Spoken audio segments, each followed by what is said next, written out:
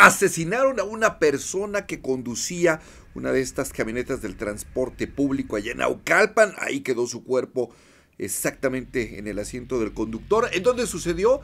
En la avenida Luis Donaldo Colosio, eh, hacia pues lo que es la Naucalpan Toluca, dirección Toluca.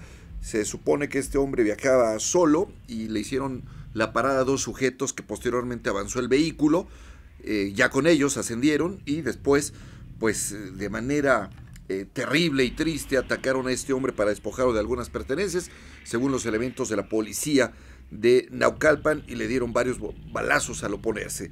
Lamentablemente este hombre murió, estos delincuentes, estas ratas de dos patas huyeron de la zona sin que nadie lo detuviera y luego pues hay uno de los colegas pues tratándose de arriesgar para tomar ahí en el carril de alta velocidad imágenes, ahí va la policía de Naucalpan a decirle que se mueva, que se quite, sin duda tienen toda la razón, eh, mucha pues es mucho el aforo vehicular y se expone de sobremanera este joven y bueno, los elementos de la policía que me lo retiran de ahí a este compañero camarógrafo y estaban los elementos de la policía esperando y aguardando a la Fiscalía General de Justicia del Estado de México. Llegó la familia de este hombre, estaban totalmente desconsolados, desconcertados, así fue como sucedió.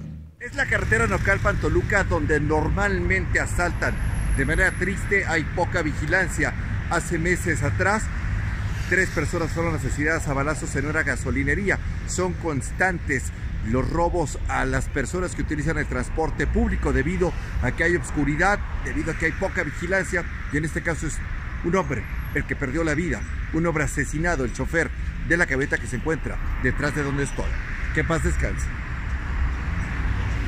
Es una zona a la que normalmente asisto y lamentablemente por situaciones terribles de asesinatos, robos y todo esto, la Fiscalía realizó el levantamiento del cuerpo, no hay detenidos, están checando las cámaras de videovigilancia para pues dar con estos bandidos, con estos sujetos que lamentablemente privaron de la vida a esta persona. Que paz descanse. Soy Jorge, el Diablo Becerril. Nos vemos en la calle, queridos amigos.